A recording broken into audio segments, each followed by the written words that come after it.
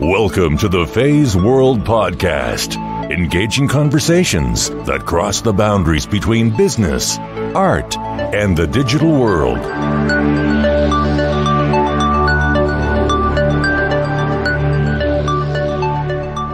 Welcome to the Feisworld Podcast. This is your host, Fei Wu. On this podcast, you will meet a group of sung and unsung heroes who are willing to share their stories with you and what it means to them to live a happy and meaningful life. From Academy Award winner Christina Reed to Wall Street Journal best-selling author Claudia Azula Altucher, Hall of Fame martial artist Michael J. O'Malley, renowned jazz musician Ralph Peterson Jr., Director of Innovation Matt Lindley, Steinway artist George Coe, and many others. Every one of my guests brings unique perspectives that form an interplay of careers, explorations, personal philosophy, and being in the moment. Then my website, feisworld.com, has a page dedicated to every guest where you can find show notes, links, tactics, tools, ideas you can use. Without further ado, I'd like to introduce you to my guest today. His name is Tom Seabourne. Tom is a professor author, fitness coach, martial artist, cyclist. I am honored to share this two part conversation with Tom Seabourne. Tom has a PhD in exercise science. He was a member of the U.S. Taekwondo team and the national and international AAU Taekwondo champion. Tom was introduced to me by my Taekwondo instructor, Michael O'Malley, who appeared on an earlier episode of the Feisworld podcast. In addition to Taekwondo, Tom is an ESPN Professional Karate Association full contact karate winner. If there are avid cyclists who are listening to this podcast, it's worth mentioning that Tom was the winner of RAAM Open West and ranked top 10 in the 1990 Race Across America. Tom is also the national 12 hour record holder of 229 miles. Uh, Tom has a Guinness World Record for indoor cycling in 2009 for riding 185 hours straight. So that was a very long winded introduction. But besides competition, Tom appeared on a number of televisions and video series such as the QVC Fitness Expert. He also co hosted a number one rated infomercial, Six Second Abs, Fox Morning Show, Good Morning Texas, Stay Fit ABC, Inside Fitness CBS National, and many more.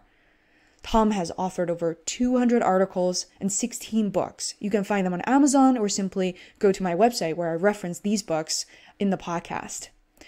What strikes me the most, however, is not the endless list of Tom's accomplishment as an athlete, as an educator, but rather is his humbleness, openness, and his willingness to flex, listen, and learn.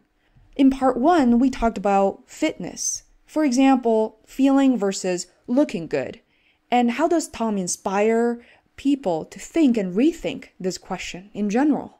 Fitness versus performance. What is Tom's point of view on training for Race Across America? And in part two, which is the following episode, we'll be focusing on personal life, goals, and, and even challenges as a fitness educator today. I offer Tom some of my own advice on uh, how an athlete like himself could potentially take advantage of social media. But beyond Facebook and Twitter, um, for example, places or channels such as Quora or UberSense, and how to influence people at a national and international level without extensive travel. And that was an important factor for Tom. But you know what? There is no better era than the one we're in today to influence, educate, and establish authentic connections right from our homes. I am super excited to be sharing this episode with you all. However, I do want to apologize in advance for the sound quality. Tom lives in Texas and uh, was very busy at the time, so we quickly jumped on the call. So it was not recorded via Skype, but a regular phone call.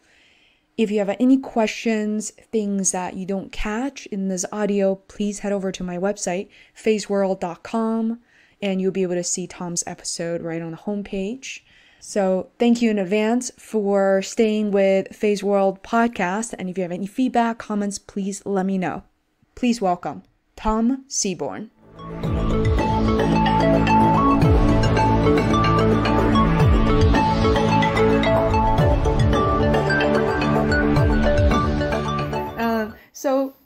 Questions I always uh, wondered about. As you know, I'm into martial art, and I had a lot of insecurities about my look, my body. I mean, like most other women out there, this is not news. And you know, what is your thoughts on fitness in terms of for men it's muscle and fitness, for women it's the bikini look versus actual health? You know, the looking good versus the feeling good. Where do you draw that line and how do you aspire people to really think about this question or possibly rethink this question? Yeah, oh, that's a great question. And, in fact, there, there's an old saying, and I didn't come up with it, but I, I like to use it. it uh, Kenneth Cooper, the fellow who invented the word aerobics, and his uh, facility is just a couple hours away in Dallas, he came up with the phrase, better to be fat and fit than skinny and sedentary. Mm-hmm. And that really says it all. Where you don't know what's going on inside someone's body. You know, someone may look like a fantastic figure model or a professional bodybuilder, but if they can't walk up a flight of stairs, or if, if she, you know, being real skinny is is what we call, um, you know, you know, have you ever touched somebody? Think about your martial arts class, mm-hmm. where you, you touch maybe uh, a female student and feels skinny fat, where, you know, if you were to look at her in clothes, then you think, oh, she, she's in good shape. But mm-hmm. then you touch her arm, and it's like soft. There's no muscle there. Mm-hmm. And, and there are a lot of people walking around like that, where they look good, but you realize, you know, even even just the the outward touch, you realize, wow, number one, they have no muscle. And then think of that from a cardiovascular perspective, like wow, you don't know at all from just looking at someone what what's going on inside the body. So, yeah, uh, I, I love the saying of uh, Kenneth Cooper, and I think we should all kind of remember that it's not all about cosmetics, mm-hmm. and that yeah, and that uh, you have to work from the inside out. And you know, we, you and I could go on and on talking about the discipline from martial arts and and you know, if, if there were a pill that you could take to make you look fit, oh, that's what all Americans would do. Mm-hmm. But, but just think, say, just think of all the benefits when you were training, mm-hmm. and it, it's not just the outcome of looking and and being very, uh, you know, with this amazing flying sidekick. It's not just that. It's the way exercise makes you feel.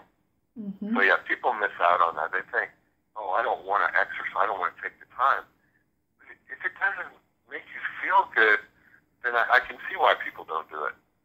So yeah, that's that's one answer. I, I no, I, there's one answer. It's uh, I think it's my favorite answer. I was going to jump in and say, you know what? I don't think I look that great, but I'm solid. I'm the opposite of that case. So it's uh no, this is amazing. And I have another question related to a day in the life of Tom. You had mentioned that you get up at four o'clock, and I have to say I don't even know there there is a four o'clock. Um, I'm a sleeping beauty, so and um, so you had mentioned that you work out for one hour, for uh, five five to six, or four thirty to five thirty.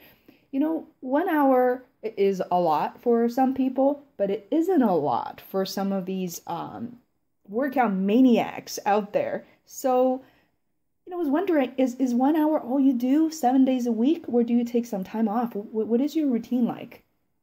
You know, um, this one hour is seven days a week, and and some people call that overtraining.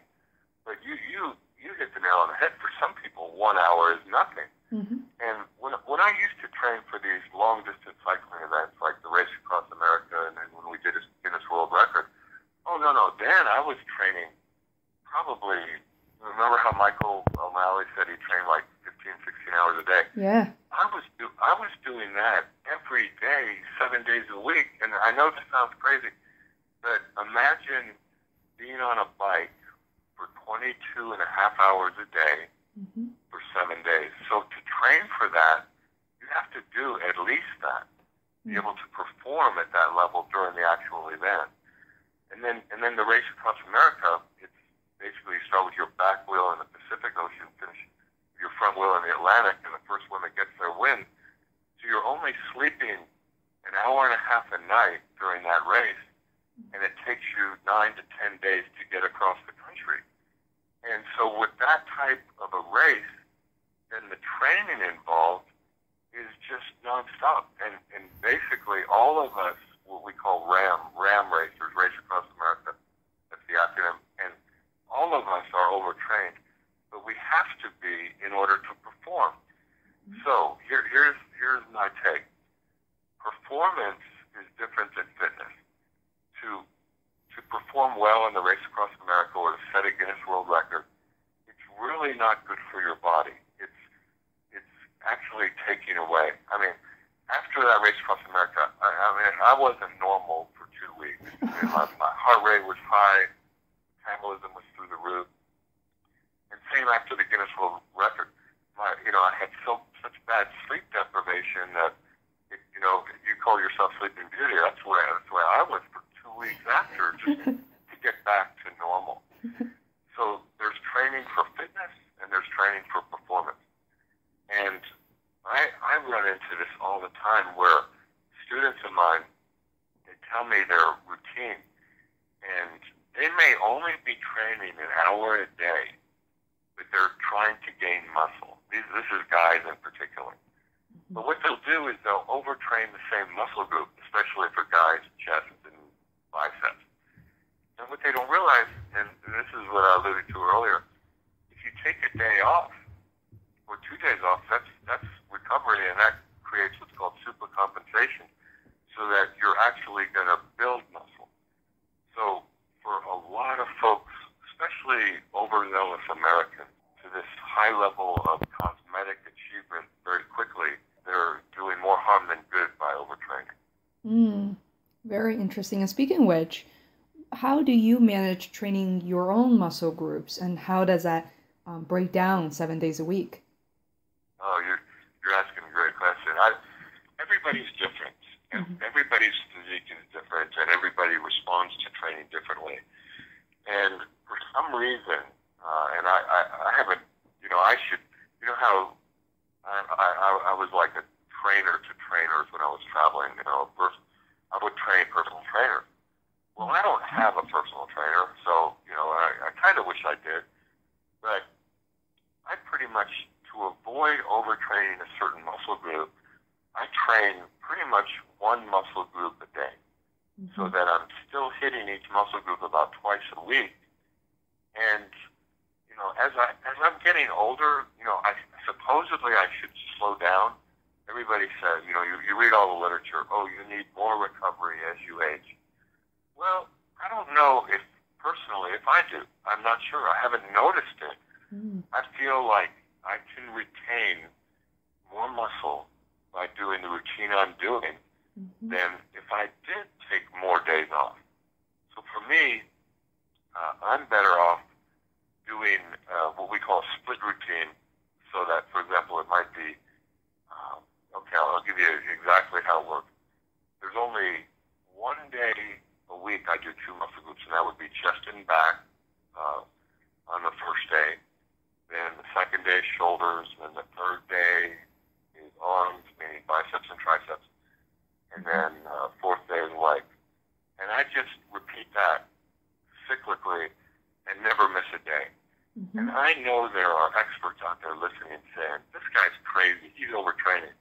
Well, I'm not. For me, mm-hmm. I have, you know, my joints are fine. Um, I, I'm staying strong. I feel good.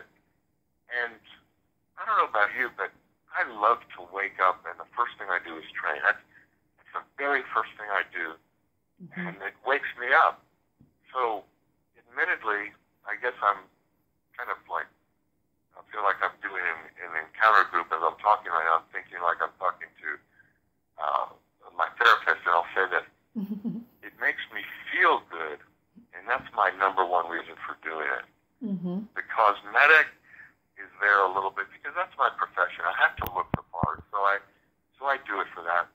But the third and most important thing, I don't do it, if I if I don't do this hour of physical activity in the morning, then I, my joints feel bad. I feel like sometimes I feel like I'm catching a cold. So I feel almost like I don't want to say that I'm addicted to this exercise program, but if I miss it, I don't feel right. I, I feel wonderful when I do it. And to be honest, I haven't missed a day. Even even when I have amazing, you know, like some horrible scheduling conflict, I find a way to do something. Maybe I, I don't get the full hour, but just doing something gives me that beneficial feeling that I, I did what I needed to do for the day. Fitness can be your passion. You know, it's it's not just it's certainly a routine, um, clearly, but I could relate to that because in my line of work and you know my routine is mine and some people may disagree and i don't have a lot of coworkers follow exactly what i do even though we're all working in advertising we could be similar in age. It's really about program if you're smart enough to tailor a program specific to yourself. And i find it to be i feel amazing when i work out for that one hour during lunch break. And of course i have to eat afterward but somehow whether yoga or aerobic exercise really depends on my mood. I like variety for instance. But after i work out i take a shower my mind is so sharp in the afternoon and it remains sharp. I i, I resolve problems much easier and i enjoy going to meetings as a result and super efficient. And i want to give you another example of um, uh, a professor i admire dearly Ethan Boker, he was the inspiration when I went to his son's wedding in Florida, and I remember putting my toe in the in the swimming pool and thought to myself, ah, a little too cold for me. I'm just gonna sit out. And Ethan was already in his late 60s at the time, and he hopped right in and was swimming freestyle butterfly. And in me, oh man, immediately I felt embarrassed and then got a private uh, swimming instructor, and I, I'm now considered a pretty good swimmer you know, and Ethan also, just like you said, every morning, 4.30, 5 o'clock before he goes teaching, he not just walk his dog, he runs with the dogs, two dogs, for about three to four miles. And he's been doing that for, I'm to misquote him, it's got to be nearly 50 years at this point. He hasn't skipped a day. And he said exactly what you said is he really needs, it's not, he's not doing the dogs a favor. They're doing him a favor. you know? So, and this is you know, really uh, fascinating. You said you said some things there, and I and I, my memory is too short, and I, that's why I, I hate to interrupt. But you know, if, if everybody had an inspiration, and, and I, I I remember now as as you were just talking, mm-hmm. I had an inspiration where I went to I don't even remember what it was. It was it was it was a karate demonstration or a taekwondo demonstration for sure and I don't remember the context. I don't remember why I was there, but I was young. Maybe I was 15 or something. And all I remember, and who knows, maybe Michael O'Malley will will have some uh, insight into the demonstration that I saw. Mm-hmm. I remember a 60 year old Korean man jump up, break two two boards simultaneously, and then land in a something similar to a Chinese split and I remember thinking to myself, "Oh my God, when I'm 60, you know how people people will say, well, when I'm 90, I want to look like that person who." Yeah. And I thought to myself, when I'm 60, I want to be able to do that. Mm-hmm. Well, I can't do that. I mean, I never could do that. but, gosh, but what an inspiration! And I, I think everybody needs an inspiration. Yeah. You know, you know, thinking thinking about the guy, you know, doing his laps uh, you know, we all, isn't it funny how we all have different inspiration? We, we look at someone and, and then you're probably an inspiration for people too, and you don't even know it, you know, with what you've done as a third degree black belt and mm-hmm. with your work and uh, now your podcast. So you don't, you don't even know that people are looking up to you. And I, and I think all of us, you know, uh, one of my colleagues at lunch the other day said, said, your life is, you could do a reality show, just some, some of the weird stuff. But then I said to him, he's a computer uh, teacher, I said, well, you too, but people don't look at their own lives mm-hmm. and, and realize of, of all of the craziness and the excitement, you know, because they're just living their day to day and they don't realize how cool it really is. So I think a lot of us, you know, and you made me realize in this conversation, yeah. we should we should more excited about what we're doing and take what we're doing. Uh, it, it may be more than face value. There, there may be things going on there where you're helping other people and don't even know it. I couldn't agree more. And I, not to say that I feel obligated or always wanted to be an inspiration. You know, I I was at an all day workshop today, and one of the questions is, what are some of the things that billionaires know and other regular people don't? And the answer to that is everybody turns out is a billionaire. You just don't know it. In a corporate setting, you could be blocked by a certain number of constraints. But I argue that in our lives, we're blocked by our own constraints, spiritual constraints. Um, we feel very vulnerable. But think about when you flip that around, is power of vulnerability. And that is really amazing. There are a number of people out there by sharing their fears so many people could relate to their fears and together you become more powerful and you know and in so many ways that we feel that we are alone you know and only we carry the fears but one of the things that really inspired me to conduct this podcast i must give credit to mr o'malley by watching him inspiring young people young souls in peabody. And i would highly encourage that you pay a visit if, if all possible that it, it break it, it makes me feel cheerful it makes my all my neurons connected and makes me really look much above and beyond my own life and my own fears. And i remember going to watch this test and that at that point the school had only been around for about a year. And i saw a group of children from the demonstration team perform and the little boys and girls were throwing were punching so hard that they're throwing like almost they're losing balance in their body like their bodies are popping. And and i was just watching and i just remember myself tearing up. And it was inappropriate for me to cry or feel that level of emotions. It was a test but i just I, all of a sudden i forgot all my own problems. And as a result that's a place where i want to be. But i wanted to tell you this funny story was you know this very well, and this has been the favorite story told on my podcast, so I'm sure people won't mind hearing it again or hearing it for the first time.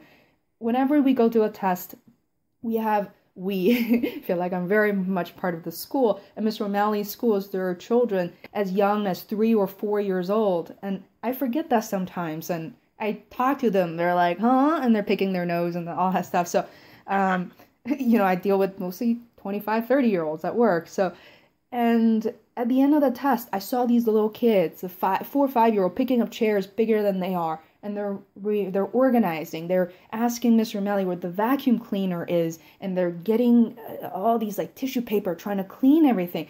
And one of the kids' parents said to said to him that, "Hey Bob, how come you never clean at home? Your your bedroom is a mess." You know, and they're, and then the little kid Bob look at his dad is like, "Dad, this is a place of great importance, you know. And his dad is like, what about our home? The kid's like, oh, that doesn't matter. It doesn't mean anything at all. It's just home, you know?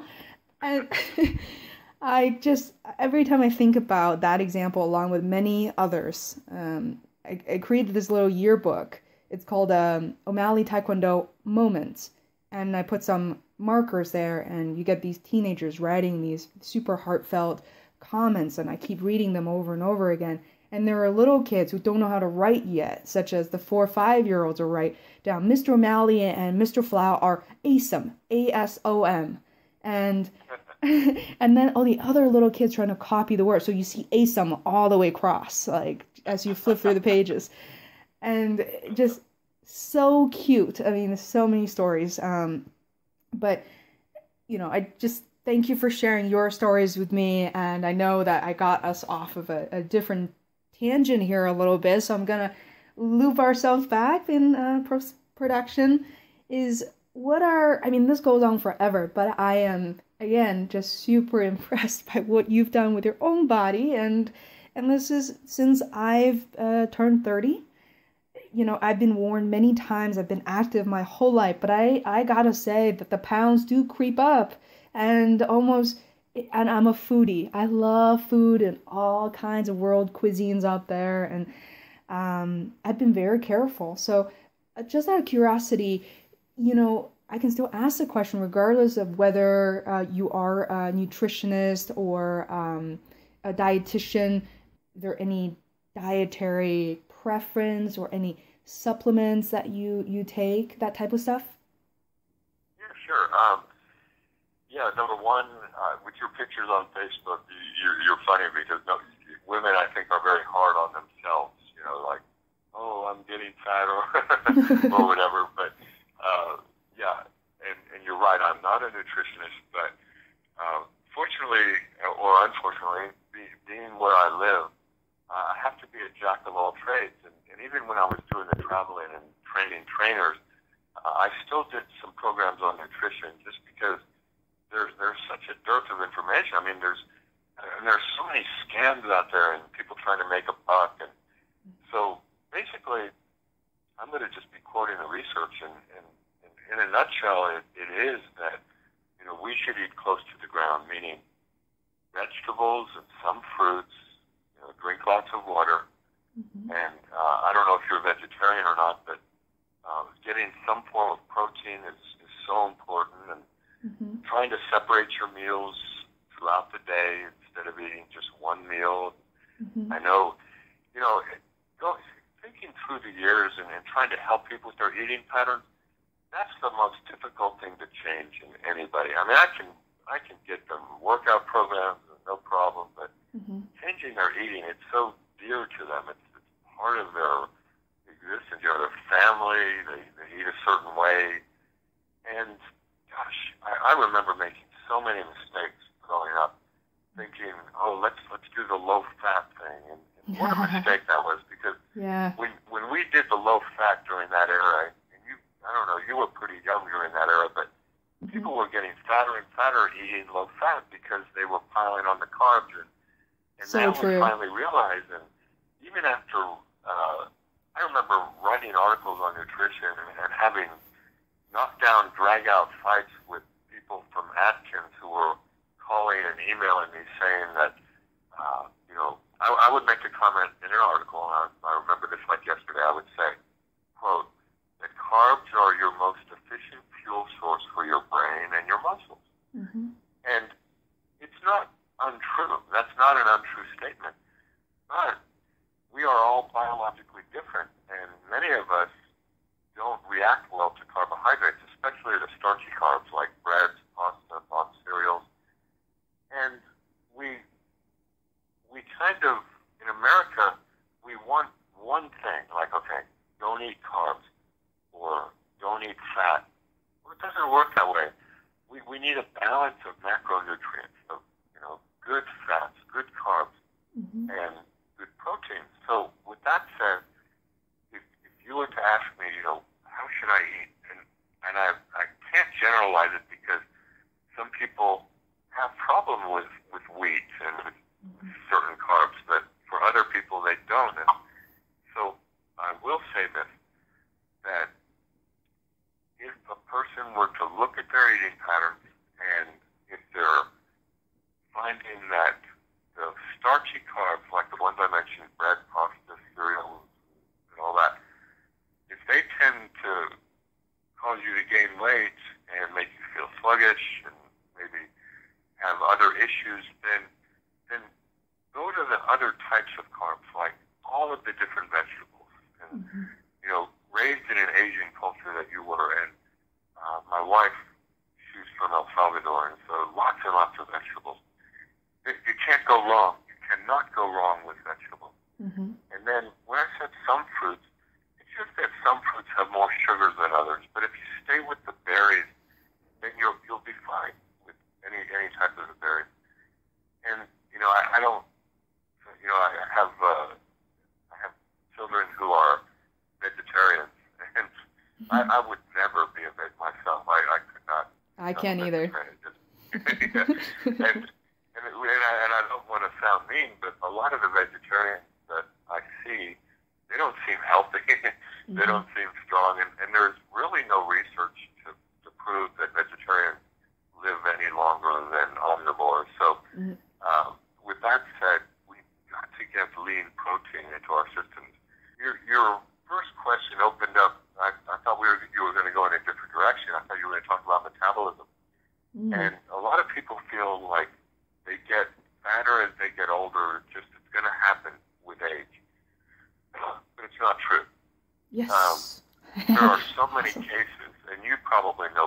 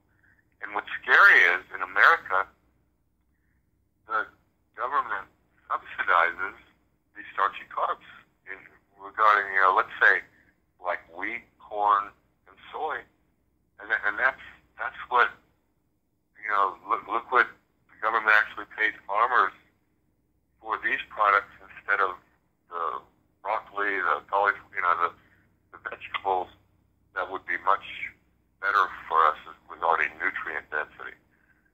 So I, I know that was kind of long-winded, but I would say to cut it down into its basic form, eat close to the ground, vegetables, some fruits, drink lots of water, uh, eating protein uh, through the day, and uh, essential fats as well lovely and i'm you know this is this can be difficult for certain people but you know i can speak to that and i certainly try to eat more regularly throughout the day and there is no excuse you know.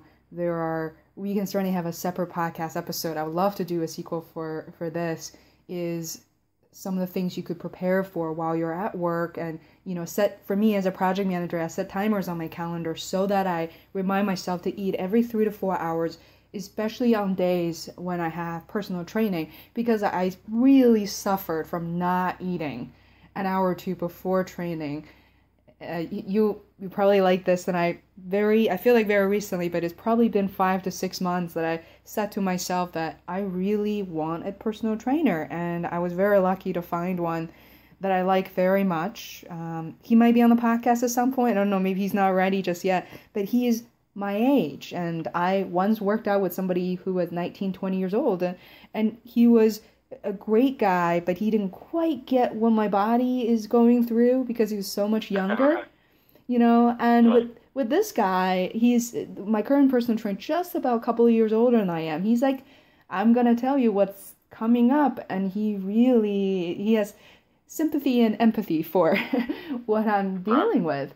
And I have to say that I benefit so much, and some of the some of the quote unquote weight gain, I think, well, their actual weight gain are from um from my muscles and I feel stronger than ever before and I you know and, and a lot of the things I learn are really counterintuitive you know instead of getting my tailbone out and I kind of stick my stomach out. I never thought about to maintain a a straight spine um you know just how important our postures are and as a result of personal training I keep thinking about it every day every doesn't matter where I am you know I remind myself so I I love where you're going with this um, a quick question on supplements, and that's something you haven't said, but are there any basic vitamins or supplements that you do take on a regular basis?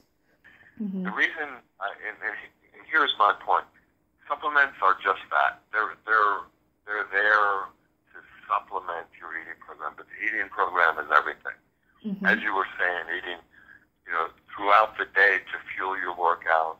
Uh, but a lot of people will take supplements in thinking that it's some kind of a magic pill, again, for their, whether it's increasing metabolism or weight loss or energy or whatever. Mm-hmm. So, in my opinion, and again, I'm not a registered dietitian, so this is just an opinion. Uh, I personally do take uh, free fatty acids, and I, I've, I've looked at the research on it. I can't see any harm with it. You know, the omega three free fatty acids. Yes. Uh, and I do that for a variety. You know, I'm thinking about cardiovascular. I'm thinking about well, I, I haven't seen any detrimental effects of taking them, and the benefits seem to be everywhere. I mean, you know, meaning your skin, your hair, your, gosh, just pretty much all of our life functions. But mm-hmm. uh, I, I see nothing wrong with taking vitamin C and some of the other antioxidants. You hear pros and cons. You hear if you take too many antioxidants, you're, you're actually opening yourself up to uh, different forms of cancer. I don't know if the research is really strong there. So mm-hmm. I, there, there's so much, um, so much equivocal research on supplements. Know, it goes both ways. Uh, one supplement I, I'll, I'll have to make a make a little point of, and that is creatine, mm-hmm. where people have been afraid to take creatine because they say could harm your kidneys. That um, let's see what else. There's I don't know. The media really hyped it up to kill you, that kind of thing. But you know, what I what I tell people is to do your own research and uh, a supplement like creatine, which is actually found in food, can can be really helpful. Women are afraid of it. They, they think it's going to bloat them and make their muscles look square and bulky. But um, and I'm not suggesting people take this product, but if you look at the research, the research shows that the, there are not any of these negative side effects that that people think. Again, I'm not promoting it, but I'm just saying that's one popular supplement that some people are afraid of. But I haven't seen any research it, saying that there's anything wrong with it. I think these are these supplements. All of them you mentioned are are nothing really surprising and i'm very glad you mentioned them because i other than creatine i take all the all of the above and I've, i'm also just like you have done a lot of research on my own and i talk to my friends who are um, you know maybe not as uh, experts in the field but who are very intelligent and um, think it through so it's so funny when you're mentioning them I, I was like oh there's a glass of water maybe i should take some right now yeah. Well, there, there's a, a friend of mine who uh, he, he made the comment, and I, I like this. I think it's pretty much true, and that is uh, the most important part of taking your supplement is the glass of water that you're drinking with the supplement. You know that uh, water is so important, and I agree with that. And especially here in Texas, we're chronically dehydrated, and uh, you know now some people go to the opposite extreme and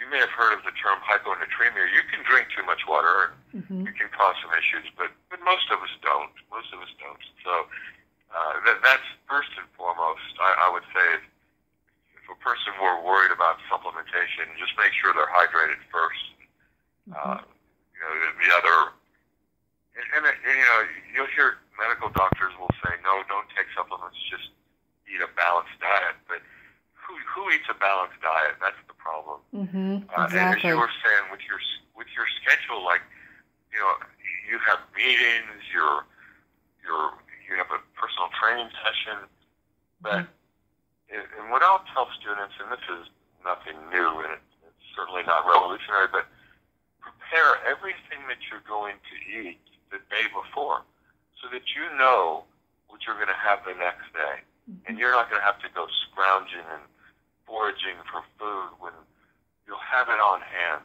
And that may mean just having it in a plastic container or, you know, maybe using a meal replacement shake if, if you absolutely have no access to real food. Mm-hmm. That that's the biggest problem I see is that people make bad choices because they're starving because they missed two out of the three meals that they were trying to eat through the day. It's so true. When it comes to when a uh, when it becomes starvation, it's an urgency, and you are going to just grab whatever it's in front of you. And for many of us who work in an office, that's leftover pizza. Those are potato chips floating around. I mean, at that point, I I see people start eating all kinds of stuff that they wouldn't otherwise eat. So yeah, it's crazy that when you're hungry, when you're when you're at that point where you no longer can make a rational choice, we're we're always going to choose the more calorically dense foods like the uh, high high fat or high sugar, mm-hmm. and and those are the the type. Well, okay, uh, uh, we have a thing.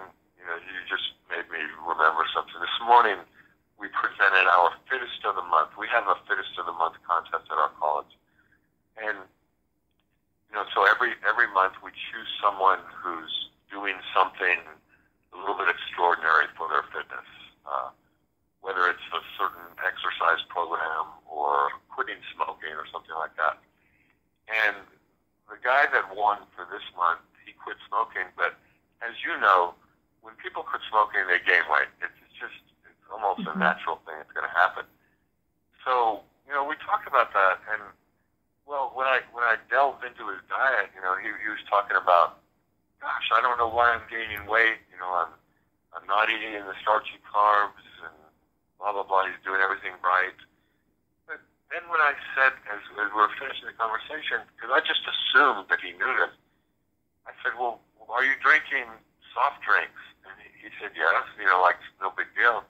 Mm-hmm. And he's drinking like the equivalent of a 16 ounce sugar soft drink every single day. And he didn't think that. He thought that was innocuous. He thought, oh, that's not doing. That's no problem. but yes, it is. I mean, that's that's hundreds of calories a day of, of non-essential calories, and that's usually the first thing I focus on is in someone's eating plan. I'll say, do you drink sugar drinks, whether it's a lot of juice or soda? Mm-hmm. And uh, you know, it just so happened I thought I just assumed he knew that already, but gosh, sometimes we sabotage our programs. We don't even know we're doing it. Like, yes, like you said, you know, with the chips or the pizza, or in, in his case, the soft drinks. Yeah, well, absolutely great observation. And sometimes it's so easy. I mean, it's not easy, but compared to everything else you have to do, sometimes I recommend that to my own friends. Just cut out the soft drinks and and then maybe with the snacks, cookies, and one thing at a time, and and and your body really really adapt to the changes slowly gradually and become sustainable changes um, yeah so i agree I, I, like i like what you said that you don't want to do too much too soon with some people now, mm-hmm. now there's other you know this is why you know you know i said earlier i don't believe in absolutes there are most people i agree with exactly what you said you change a little bit at a time or one thing at a time but, and then there's the other extreme of some people want it so bad that they're willing to do a huge lifestyle change all at once. Mm-hmm. But the word you used is sustainable. You have to make sure. Well, here, here's another example. Uh, the, the lady in charge of our nursing program started this program, and I, and I was completely against it at first. It's, it's called um, Lighten Up East Texas. And it's a weight loss contest, and I bet you have them up there where if you lose five percent of your body weight mm-hmm. in a certain period of time, you can win a car. and I hate contests because whenever money, or in this case, you win a car, involved, then people will do anything to win, mm-hmm. and you know, involving cheating. So how can you cheat on a weight loss? Well, it's in, in the way the the thing is measured is scale weight. Well, the scale doesn't know the difference between losing water, muscle, or fat. Mm-hmm. So a person can easily lose 5% of their body weight by just, you know, losing muscle, mm-hmm. by, by going on a very low calorie diet. Dehydration. Or, Mm-hmm. Yeah, or dehydration, right. And so what? So they win a car, but then they gain all the weight back. Well, you know, maybe for some people they say, heck yeah, I'll, I'll win that car and not worry about my weight. But, it, but in this case, we have hundreds and probably thousands of people in East Texas who are doing anything that they can to lose the weight. But as we were just talking about, sustainable, keeping that weight off. Anybody can lose the weight, but having a manageable, a I wrote the statement that any diet program that you can't do for the rest of your life is not worth doing for one day. Mm-hmm. And there's nothing magic about that. It's just that you've got to do something that you can stay with. And if you're doing some fad program that only lasts for a month and then you gain the weight back, then you, you shouldn't have done it at all. It wasn't worth your time. Yeah, great point. Completely agree. And there's so many people who, who start and quit, not only when it comes to diets, fitness, and many other, you know, things that they could benefit significantly in their lives. And um, so that's part of oh, that human behavior. Especially exercise. I mean, you know, you've probably seen the research that 50% of the people quit an exercise program a month after they start. Mm-hmm. And what we see, the people who do exercise, you know, we see somebody running and then we see another person. Well, that same person is running and lifting weight. So 15% of the population is doing some sort of workout. 85% are doing nothing. Mm-hmm. And so, yeah, the, the key is to find something that they love. And that you said that earlier. You know, making martial arts, whatever you decide, if it's a passion, then you'll look forward to doing it. And even if it's just going for a walk and like you said earlier about the dogs, walking his dog. Well, that, you know, research shows again that if you have a pet, there's a better chance that you're going to be in good shape than someone who doesn't have a pet just because they have to walk the dog. Yeah. So, yeah, we, we have to find ways to get people moving because it's crazy that, you know, it, it, what, what amazes me is you understand how exercise makes you feel. Mm-hmm. But more than half the population doesn't realize it'll make them feel better if they move, and they just have to move. And I think they make each other feel better. I, you know, I know this from working, and I'm fortunate enough to be working for a number of companies where fitness and health are the primary goals of their beings. And I, you know, we go work out together. It's very natural. But I've also worked in software companies where people don't don't move at all and they're proud of it. They're proud of being glued to their desks. They eat at their desk. They don't move around.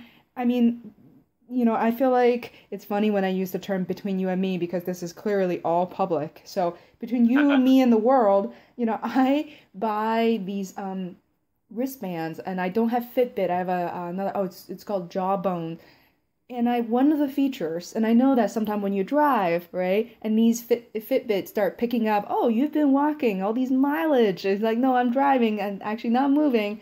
Uh, I just hit a pothole or something. But um, so one feature I love is I can set a timer every 20 to 30 minutes. If you, if I don't get up, it start buzzing me. It start reminding me to move. And I love that feature. And it's so funny talking to you. I'm going to readjust to start eating my vitamins again because I purchased all of them and I forgot to eat any of them.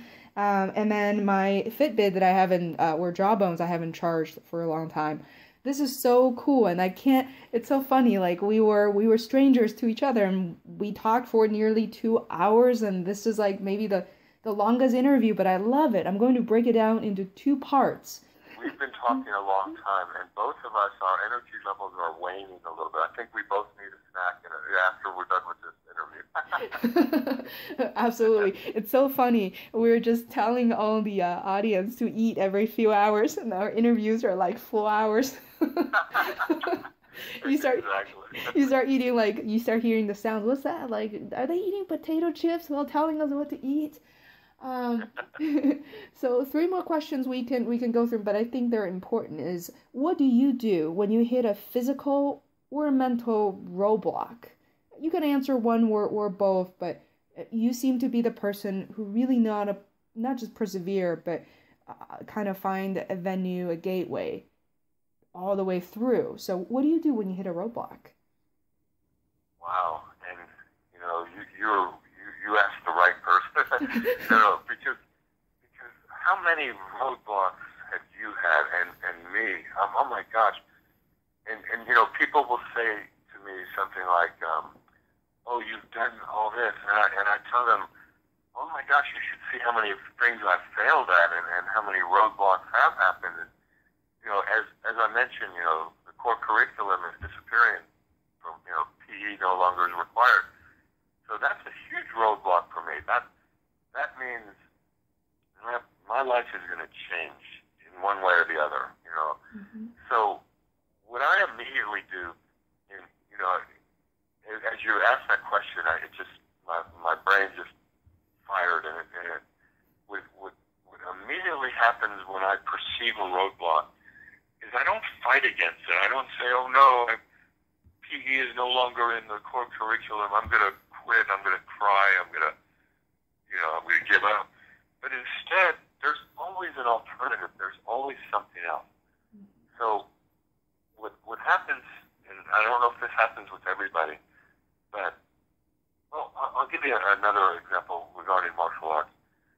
Um, you know, I loved AAU technique. Back then it was called Amateur Athletic Union. You know, and I loved it. I mean, it was my life. You know, that was when Michael O'Malley and I were on the same U.S. team.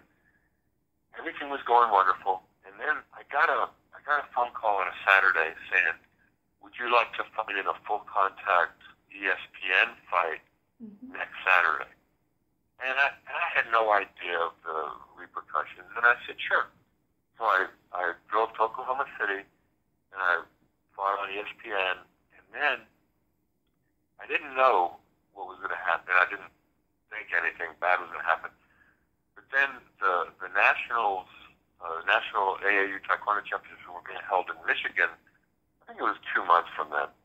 So I flew up to Michigan, and I'm I'm literally getting ready for my fight. I mean, I'm I'm warming up, and over the loudspeaker, they didn't even tell me in person, but over the loudspeaker, you know, I heard this: uh, Mr. Seabourne will not be competing today because he fought professionally on ESPN.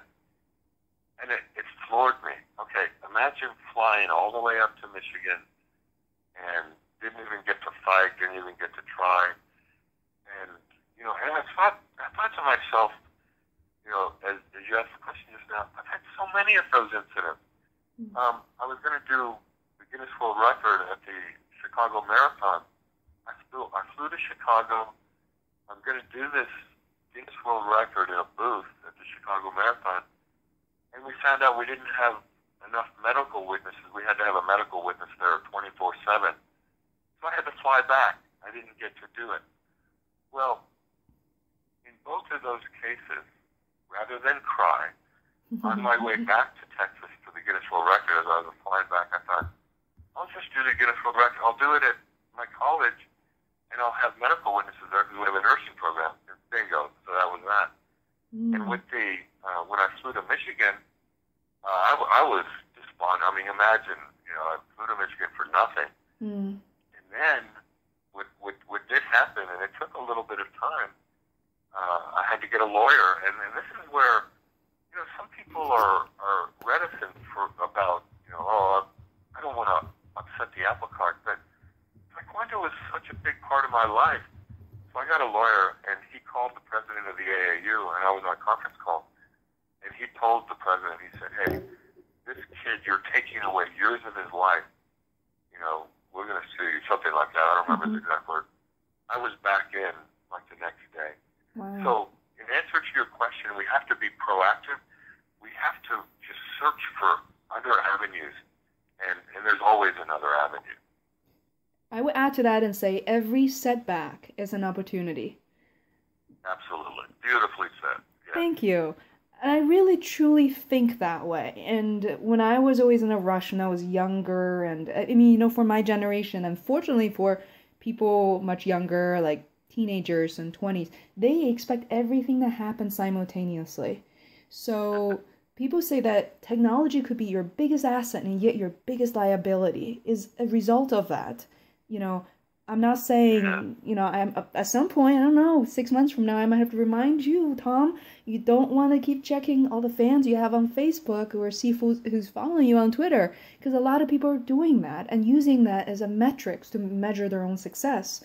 So, or by paycheck, or who knows. But I think I'm very excited for you. I think based on the new policy, I think this setback as seen on the surface, is a great opportunity for you to grow something on your own, just like my podcast, you know, is um is an opportunity I created for myself.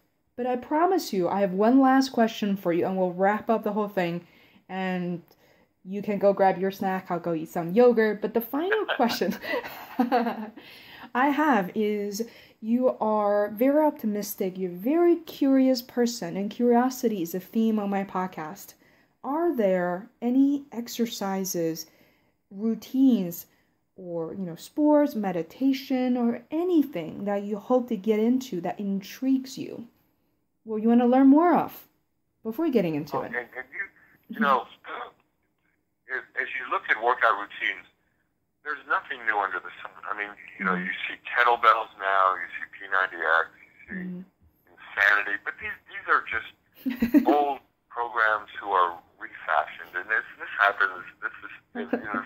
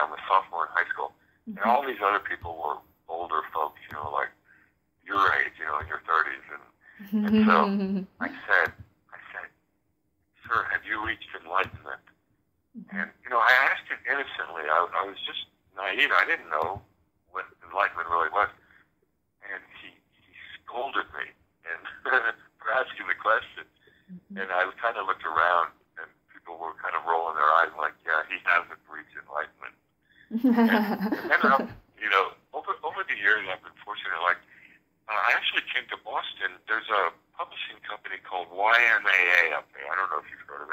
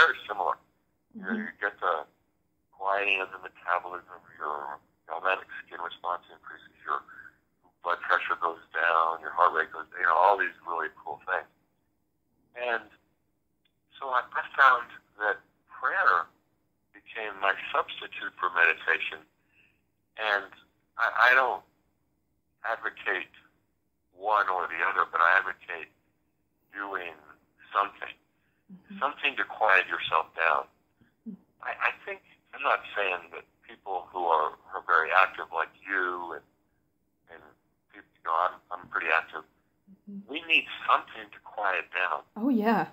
And completely and agree. when I was when I was doing the ultra cycling, the, the long long distance cycling, where you know I was literally riding my bike at least six hours a day, and that doesn't include the other activities like the weight training, the karate, and the tennis. But, but the cycling itself became my meditative experience because pedaling little circles for hours on end mm-hmm. is truly meditation. So, in answer to your question, I miss that. You know, I, I'm no longer cycling for those long, long periods of time, but I still pray, mm-hmm. and I'm still riding a little bit. But I think everybody, because of our crazy world of all of our phones and mm-hmm. we don't ever turn off, that we need something.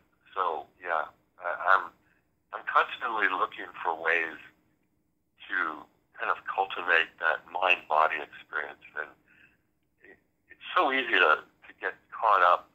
I mean, look at our interview. It's like, oh my gosh, now now you won't have time to meditate because you just went way over time on this interview. no, I'll still find time. I must echo a lot of what you said. People like us are very active and you know, people like us are obligated uh, to a certain degree to share experience to benefit others. And honestly, for the longest time, my own guilt is that I had not taken care of myself. Started when I was in college, I ate poorly. I was always at work, always working, um, two, three jobs, and and I thought I was young. I didn't have to take care of myself, and developed like a, a temporary ulcer. It was really uncomfortable, and not until like a few years into my career, after I started making money, to say that okay, let me do this. So more recently, um, this I keep referring to James Altucher, who's a very successful business person and podcaster the term that he used is be gentle on yourself. And I love that. And, you know, my guilty pleasure are I love this meditation expert. Her name is Tara Brach, B R A C H. I will send some of the information your way that I almost have to use the word addictive. you avoided that, but I'm bringing it back because she is phenomenal and she's inspired people all around the world. She has a podcast, so if you have an Android phone or iPod, very easily accessible, or even just simply through a website. Uh, and I listen to her every night before I go to sleep, and I should do better and listen to that in the morning in a sitting or, or you know a comfortable position, I guess. But it's just so soothing, and she has so much information, and she's not like someone who's pretending or recycling information to impress the world. She has so much to say, highly recommended. And personally, for me, to your point, Tom, I found the venues for myself. I meditate, uh, unfortunately, not on a regular basis, but always enjoyed it. And I love doing yoga, and I love swimming, and to put my head under the water and like tune tune out the world and just be on my own. And one of the terms I love very much right now is the word pause. Um, was from um, Tara Brach. Like, just think about pausing. Like, we just pause in the middle of the day, whatever, a minute or two. I think that's really powerful. So, yeah, I'm so glad. I'm so happy and peaceful right now. yes, I mean, that, that, that, that is a great way to end it. And, and, and I have a sentence in, in a book I wrote. I, I wrote a book years ago when I was really into the meditation, and I, I wrote a sentence in there that those who don't feel they have the time to do the meditation, I'm, I'm kind of paraphrasing, those are the people that need it the most. Absolutely. Because just like you said, because we don't pause. Mm-hmm. We, we just go from one thing to the next. And you said something very important. So many of us are afraid to be alone. Mm-hmm. We're afraid to be alone with our thoughts. Mm-hmm and it's scary. And, and with most people, just check them out. They're always on their phones. They're listening. They're watching TV. They're they're never alone with their thoughts. And mm-hmm. In our social, look at look at how our society has changed. Nobody talks anymore. Everybody, you know, we're Mm-hmm. talking now, but most people are are texting. They're they're on their phones, but they're not talking.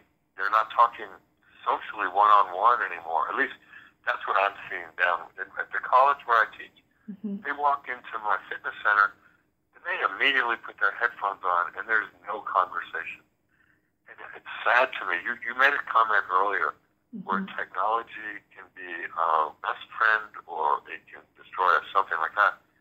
And absolutely, I, I think that's one area where we're losing our social, you know, our socialization. We're we're depending on texting and, and not really conversing with people. But but I'm glad we got to converse, and uh, I made a new friend tonight, and I'm so glad that you know you have a real energy about you that that uh, makes me smile, and, and I really appreciate you allowing me to do this, and uh, it was fun.